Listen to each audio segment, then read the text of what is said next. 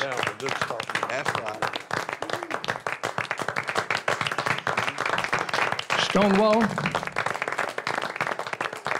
Buddy, it's pretty good when you can get a standing ovation before you even open your mouth. That's, that's better than snuff and not near as dusty.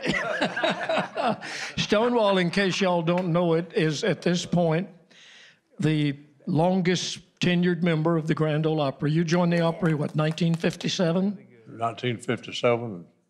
And there's nobody that's been there longer than you anymore. Hold it up so they can hear you good. Yeah, I still get around there every once in a while. Absolutely. Well, they still love you. Do you do any touring or anything anymore, or just sit out there on Lake Waterloo with Miss Juanita, Well, well, well come, come, come to see Larry.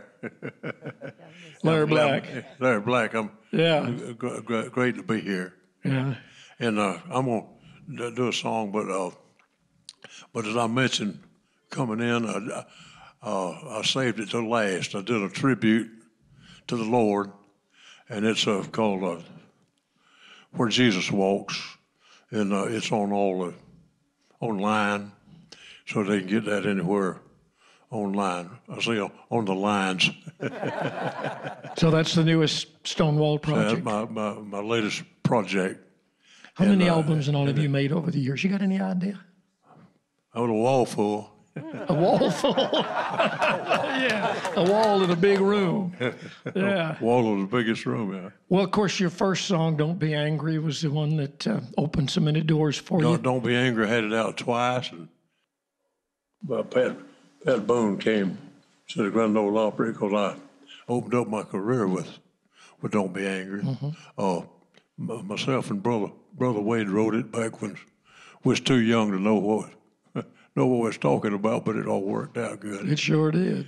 And uh, so I, I just when it come time to sign it up, and they cut Rose, I just put his name on it because he was in the war and he fought good. And I'm proud of him. My, my brother, my brother Marvin too. Yeah. And uh, so I've got military. I was in the military myself during career, What branch were you in the army? and and so, but but I was writing stuff. I was writing poems and things like that for the guys, and just, just copying them and sending them to the girlfriends. And uh, so I, I really appreciate you letting me mention uh, uh, where, where Jesus walks. Absolutely. I know a lot of people who I- I saved- order a copy. I saved it to last, and, and I closed my career with it. Uh, Columbia said, You didn't sign that little contract we sent down there. It was contract time. And I said, No, I, I want to do that the last thing I did as far as recording is concerned.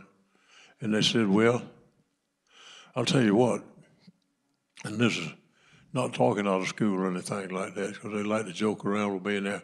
But I've been with them well, for umpteen years, you know.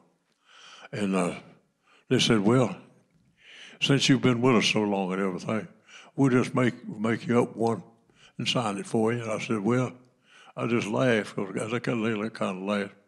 I said, well, if you send me a little check once in a while, I think that'll be all right. I imagine they've sent you a few checks over the years. so that that's a good deal I got in New York. Well, good for you. The song you're going to do today, of course, is one of your signature songs.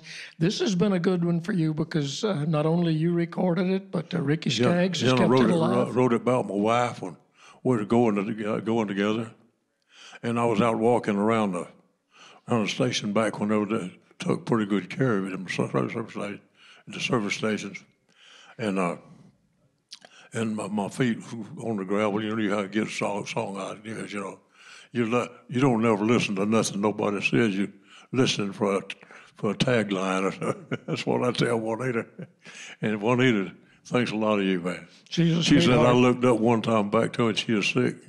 She said Bill Anderson was in my hugging line, and so Juan- Juanita. Well, Juanita's Oh. very special. I met her when y'all were y'all were still dating. I think she was living Yeah. out in Gallatin, and uh, Yeah, you found her and brought her to Nashville. She's a sweet lady. Yeah, old Ralph Emery. He he said on on the wedding on the wedding night they stayed all night with me.